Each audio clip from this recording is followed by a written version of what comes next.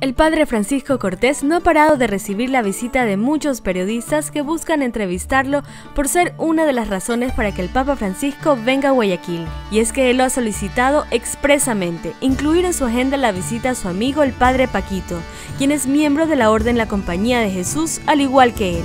Yo solamente estoy admirado de la humildad de ese hombre de acordarse de mí Seguramente el Papa recuerda con cariño los días que fue acogido en estas instalaciones, como Jorge María Bergoglio en el año 1981, y que como superior provincial de Argentina, escogió al Colegio Javier para que sacerdotes jesuitas realizaran sus prácticas de formación.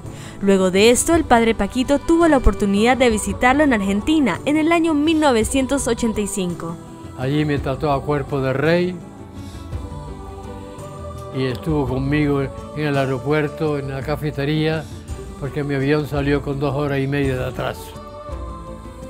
Y entonces me estuvo ofreciendo cosas argentinas con una sencillez, una, una amenidad muy grande.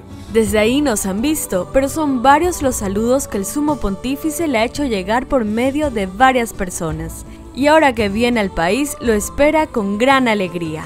Viene precisamente a animar a los fieles cristianos a vivir la vida cristiana con más generosidad, con más conocimiento, más profundidad. De origen español, lleva 51 años en Guayaquil, tiempo en el que ha sido un pilar fundamental en la formación de cientos de jóvenes, de los que ha sido su guía espiritual. Recibe visitas de exalumnos, visitas de parejas a pedir la bendición para casarse. Realmente es muy querido, él ha tocado muchas vidas y realmente es muy apreciado por todas las personas de su alrededor. Estricto, pero con las manos abiertas. Cuando teníamos problemas íbamos a hablar con él. Por su parte, los alumnos del colegio formarán una calle de honor a las afueras de la institución, porque al menos aquí dentro se mantendrá una reunión privada.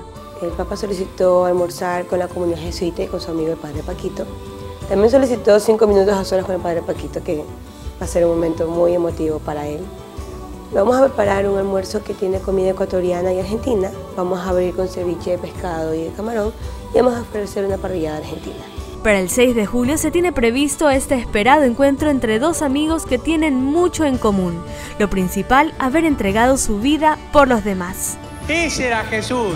Vivía buscando a la gente.